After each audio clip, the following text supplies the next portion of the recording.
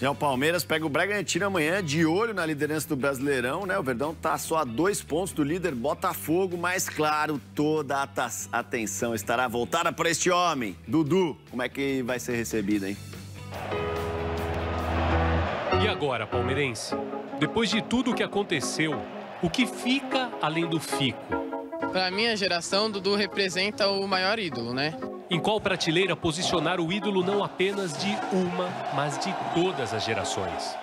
Junto com São Marcos e Ademir. Será que Dudu colocou uma vírgula na própria biografia? Deu uma balada forte. Depois do jogo contra o Atlético Mineiro, Abel disse, meio sem dizer, que o ídolo errou. Quem nunca errou, que atira a primeira pedra. Assim, fica algo arranhado? Fica. Nós não sabemos internamente como que tá, mas ao mesmo tempo que transparece é que incomodou. E assim, de repente, a próxima partida em casa ganhou mais importância que aquela da semana passada, na volta de Dudu, depois de quase 10 meses se recuperando de lesão. É que o jogo de amanhã contra o Bragantino vai marcar o reencontro entre Dudu e a torcida depois de toda essa confusão. E vai servir também como um bom termômetro para as duas partes entenderem melhor em que pé está essa relação. Abalou um pouquinho, mas passou. A hora que ele definiu o que fica, é tudo que a gente quer ouvir. Por essas coisas do destino, Lázaro sofreu uma lesão na coxa no último jogo. Pode ficar até um mês fora.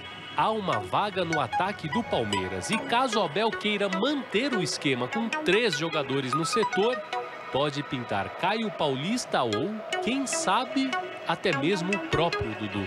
Eu não vejo o Dudu titular hoje. Ele que vai ter que reconquistar o pessoal, esse ambiente e, e a oportunidade, a possibilidade dele ter uma oportunidade para jogar. Em campo ou no banco, ele já fez por onde? Vai fazer gol, vai voltar com tudo e aí vai voltar igual estava antes, tudo certo. E o meu desejo, porque é que rapidamente ele possa fazer assistências, golos, atacar, defender, que é o que todos nós esperamos de um jogador do nível dele. O tempo se encarrega da dor que sobrar, porque ídolo que é ídolo tem espaço garantido ao lado do coração para aquela assinatura que realmente interessa.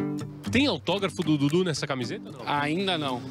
Vai ter? Vai ter. Pertinho do, da estrela, pertinho do símbolo, para olhar sempre onde ele tem que estar.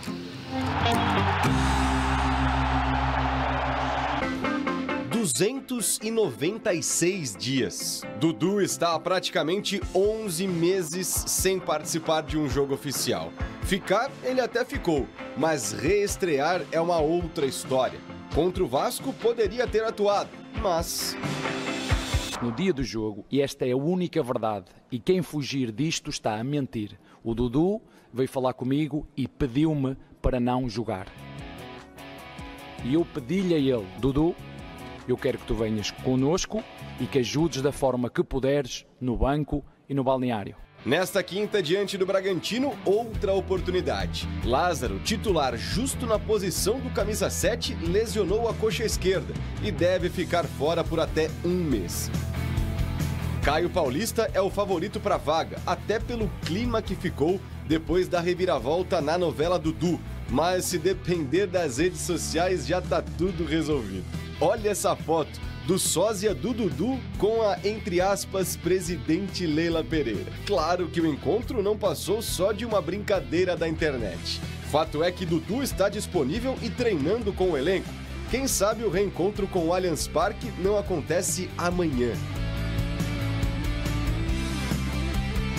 A postura do torcedor com o ídolo ainda é uma dúvida. Agora, a fase do Palmeiras é uma certeza. São três vitórias consecutivas e seis jogos de invencibilidade, podendo até mesmo assumir a ponta do Brasileirão nessa rodada, em caso de vitória contra o Bragantino. Aliás, em 34 jogos ao todo no ano, o Verdão só perdeu três nenhum deles no Allianz Parque. O momento é muito bom, é, essas três vitórias seguidas aí dão confiança também. A gente está vendo a atitude dentro de campo, a gente sabe da, da, qualidade do nosso grupo, quando junta com a, com a força de vontade. Desde o começo a gente entrando sabendo o que tem que fazer, com certeza o time melhora.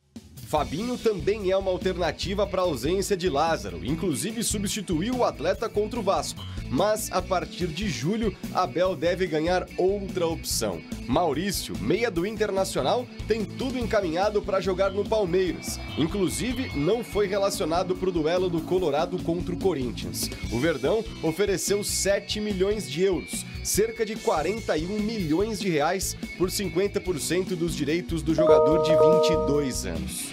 Falando em meio-campista, lembra do Guilherme Torres, volante com passagem pelo Corinthians e que hoje está no Al Sadd do Catar. Pois é, a mesma equipe que alega ter um pré-contrato assinado com o técnico Abel Ferreira. E o Guilherme falou justamente sobre essa polêmica numa entrevista à ESPN. Abre aspas. Ele iria se apresentar em janeiro e lá falavam que estava certo. Eu estava torcendo. O cara é um grande treinador. Na hora que fiquei sabendo, todos vieram me perguntar. Falei, no Brasil ele tá arrebentando. Se vier, vai ajudar demais. Todo mundo elogiou e os caras estavam felizes que ele ia, mas infelizmente não deu certo. Ficaram chateados. Fecha aspas. Enquanto isso, o polêmico duelo de segunda ainda não acabou. Pelo menos pro Atlético Mineiro o Galo deve contratar a Good Game, empresa de inteligência artificial que auxilia John Textor, dono do Botafogo, no monitoramento da arbitragem. Tudo isso depois da expulsão de Hulk ainda no primeiro tempo da goleada sofrida para o Palmeiras.